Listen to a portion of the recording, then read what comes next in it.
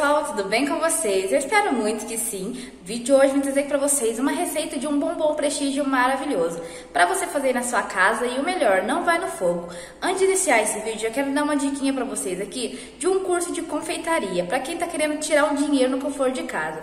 Nessa crise que a gente está, né, pessoal? Muita gente está buscando uma forma de ganhar dinheiro. Então, quero muito indicar esse curso para você se profissionalizar. Ali você vai aprender desde receitas de bolos, bolos no pote, bolos caseirinhos, aquelas receitas de cones trufados e sobremesas. Ali tem todo tipo de doces ali no ramo de confeitaria. Inclusive essa receita que eu vou gravar aqui para vocês hoje, eu tirei de lá. Então uma diquinha bem maravilhosa para vocês, né? E o melhor de tudo ali que você vai aprender desde como fazer até a hora da venda. Então super completo mesmo, com mais de 36 videoaulas, com nove apostilas, no total ali mais de 150 receitas para você. Corre garantir o seu, tá pessoal? Vou deixar linkado aqui na descrição do vídeo o link desse curso de confeitaria para você. Vai estar tá tudo certinho aqui na descrição. Então, se você quiser conferir também essa receita desse bombom prestígio que não vai no fogo, vem comigo. Bom, pessoal, aqui eu tenho uma forminha de acetato para fazer bombons e aqui eu tenho 200 gramas de chocolate em gotas para me derreter no micro-ondas. Esse daqui é o meio amargo. Vou derreter de 30 em 30 segundos meu chocolate e já volto. Agora, pessoal, para fazer o recheio, eu vou colocar aqui um pacotinho de coco de 50 gramas e meia caixinha de leite condensado. Apenas isso. Você vai misturar com a colher aí até ficar naquele ponto bem úmido. Então não vai no fogo esse recheio e todos os meus bombonzinhos prestígio eu estou utilizando mais esse recheio do que aquele que vai no fogo, porque fica incrível também e lembra muito o bombom prestígio ali, né, aquele que a gente compra no mercado. Então se você vê que tá seco, você vai adicionando leite condensado aos pouquinhos até ficar um recheio úmido. Depois que o nosso chocolate derreteu, a gente vai vir aqui, olha, e vai começar a banhar a forminha.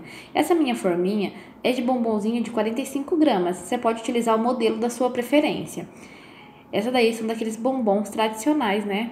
Que a gente sempre vende bem. Então, olha, a gente vai pegar aqui com o auxílio da colher, vai espalhar chocolate para todos os cantinhos. Depois vai pegar esse chocolate que tá ali, né, na forminha e vai jogar no prato ali todo o excesso. Então, você vai precisar fazer esse processo. O porquê eu não tô utilizando forminhas com silicone aqui nessas receitas?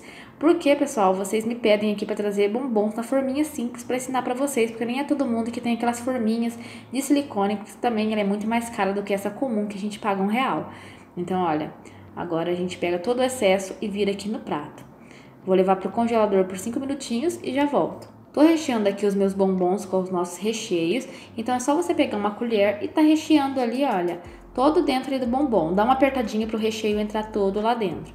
Então você vai precisar fazer assim todos os bombons aí em todas as cavidades. Então olha que recheio mais úmido, pessoal. Não precisou ir no fogo, tá? E fica muito gostoso também. Gosto muito dessa forma aqui. E também é muito prático para quem quer vender, né? Para quem quer fazer uma receita rápida aí para ganhar um dinheiro. Então, olha, agora a gente vai passar aqui uma camadinha de chocolate por cima para fechar a tampinha. Aqui o chocolate, o mesmo que a gente fez a casquinha, e vou, olha, tampar aqui em cima desse coco. Vou fazer assim em cima de todos os meus bombons, vou levar para o freezer por aproximadamente ali uns 5 minutinhos, só até secar essa casquinha e já volto aqui para desenformar e para mostrar para vocês o resultado desse bombom prestígio que não vai no fogo. Passaram-se 5 minutinhos, vira a forminha em um prato, aí sim você já pode se deliciar, se for para as vendas, você pode tirar a rebarba aí para ficar bem bonitinho.